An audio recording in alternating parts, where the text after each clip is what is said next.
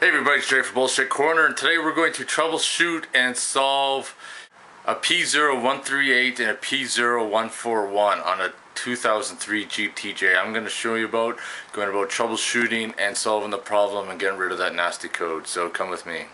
So we're just linking up here.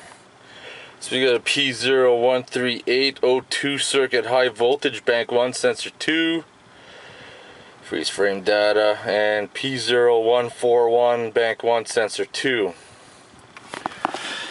so now I'm going to start the Jeep and we're going to look at the O2 sensors and I want you to pay attention to the data on the O2 sensor so hold on. So now we're going to go to live data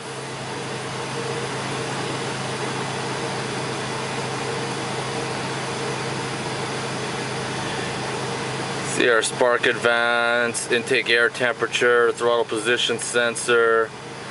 Alright.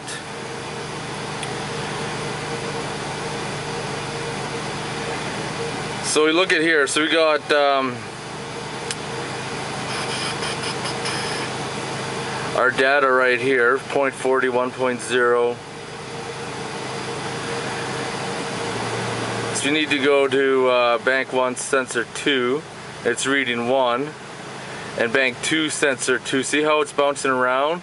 But bank 1 sensor 2 just stays at 1 that is uh, systematic that your O2 sensor is failed on that one. That O2 sensor is just one that monitors your um, fuel mixture after the main O2 sensor because bank 1 sensor 1 is the one that actually mixes the fuel. So so look at that. So we got bank 2 sensor 1 is about jumping around. Bank 2 sensor 2 is jumping around so we're going to scroll up. And bank 1 sensor 1 is jumping around but bank 1 sensor 2 is staying constant. So that is making me believe that sensor is false. So what we're going to do is change that sensor out reset the code and reread the live data. Alright, so there's the O2 sensor we gotta change out. That is bank one sensor two. It's below your catalytic converter and it's a short one. So here's a replacement O2 sensor right here. It's got a short cable and that is for sensor one bank two. The other one uh, bank 2 sensor 2 has a quite a bit longer cable so it's pretty hard to fuck it up. I imagine some people just may do that. So we're gonna go ahead remove that O2 sensor put the new one in and restart it before you remove the O2 sensor, you probably would like to uh, disconnect the wiring first. It'd make things a hell of a lot easier. Just giving you a tip. So the new one comes with anti-seize on it, so I didn't even have to add that. And then here's the old one right here. Not too much to look at. It's actually probably still good because when I went to remove the cable, I don't think I connected it properly. But oh well, I'll have a fucking backup if that's the case. Alright, the new one's installed. Now we're going to reset the code and start the Jeep and see what happens. Alright, so I'm just going to turn my ignition on. Press the link button. Now we're going to erase the codes.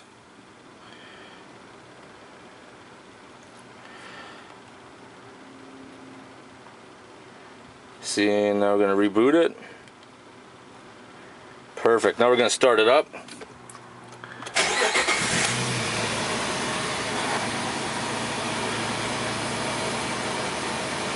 Relink. Go to live data.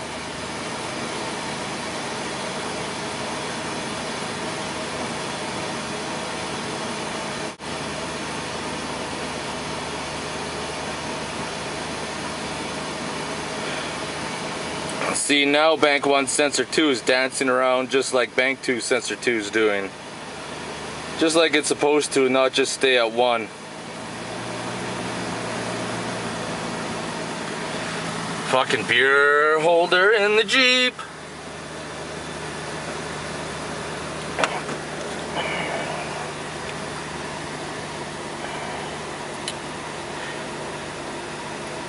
Yep, I think I'm gonna call that good. So there you have it. That was a quick video on uh, troubleshooting and diagnosing the problem with uh, P0138 and P0140 I think it was, or 141 anyways. Um, like I said, you've watched the uh, live data screen on my code scan. You can tell that the O2 sensor is actually functioning now where before it wasn't. So I'm hoping that's the case. If something else changes, I'll update in the video. But uh, as far as the old one goes, that code was pre-existing from before, so I'm just going to garbage it because I'm not going to keep it around. And um, I think that's pretty much it. So if you have any questions, comments, or concerns, post them below. Otherwise, thanks for watching.